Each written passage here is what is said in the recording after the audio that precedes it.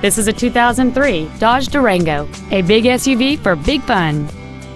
It features a 4.7-liter eight-cylinder engine, an automatic transmission, and four-wheel drive. This Dodge has had only one owner, and it qualifies for the Carfax buyback guarantee. This automobile won't last long at this price. Call and arrange a test drive now.